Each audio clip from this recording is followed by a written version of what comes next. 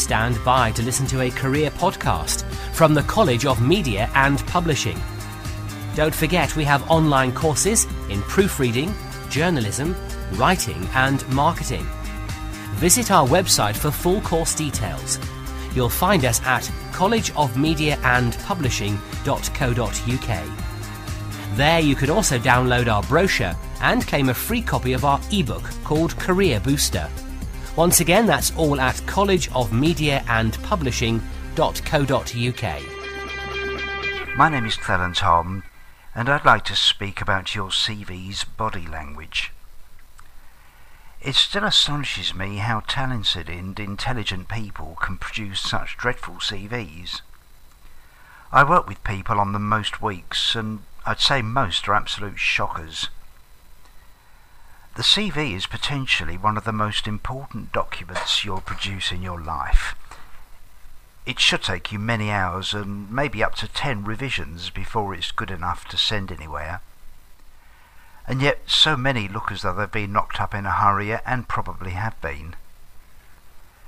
Now there's masses of information on the web about CVs along with templates you can download and adapt and there's nothing I can add to that really although do email me if you'd like a free copy of my tips file.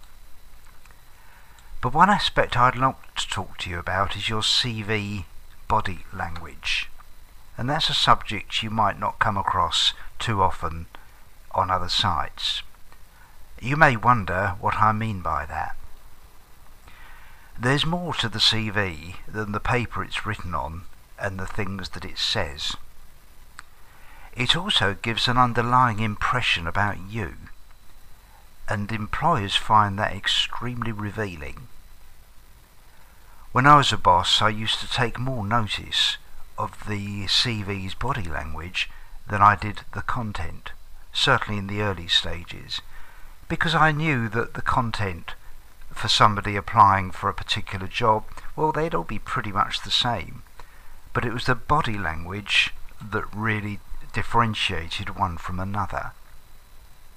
Now, I often find that the CV's body language completely contradicts a lot of its content, and that's where people run into problems.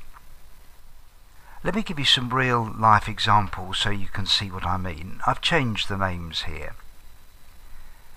Now, Christopher said in his CV that he was skilled in using desktop publishing software. But to be honest, his CV looked like it had been designed by a 13 year old using Publisher really badly. So to me, that completely disqualified any claims he had about being a good desktop publishing operative. Leslie said she had a keen eye for detail, yet her CV contained a typo and three style errors. So obviously she didn't. Otherwise, she wouldn't have. She would have spotted those things. I know many employers, particularly in the media and journalism fields, who will bin a CV if it contains any errors at all, spelling, punctuation, style, because those are the qualities that somebody's going to need in their job. Now, Mohammed said he had a good eye for design, but his CV was literally one slab of text and was horrendously dull to look at. Ian said he was thorough and yet stated references available on request on his CV.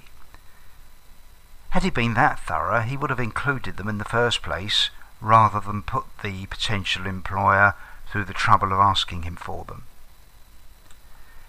Samantha boasted about her excellent writing skills, but her CV read like an estate agent's property specification and it was really hard to follow it. Javina said she was project orientated and enthusiastic, but her CV conveyed an apathetic, couldn't be bothered attitude. It didn't shine or in any way convey a mild sense of enthusiasm or the fact that she saw it as a worthwhile project to make look good. Daniel said he was a good project finisher, but crammed his perfect CV in an envelope and addressed it in handwriting that came straight from an infant's school, and put the stamp on upside down and didn't stick the letter up properly. So much for his finishing skills.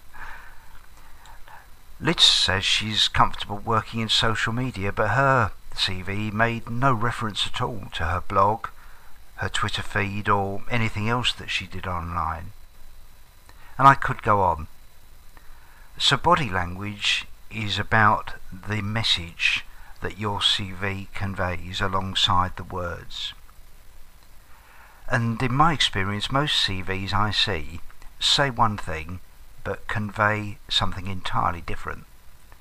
And bosses see straight through them and usually bin them or certainly don't give them any priority. So my tip is that when you come to do your CV, make sure it matches who you are, as well as explaining what you could do, and there shouldn't be any disparity between those at all. Thanks for listening. Check out our website for more free downloadable podcasts at collegeofmediaandpublishing.co.uk. There you'll also find more information about the online courses we run in proofreading, journalism, writing and marketing. For full details go to collegeofmediaandpublishing.co.uk.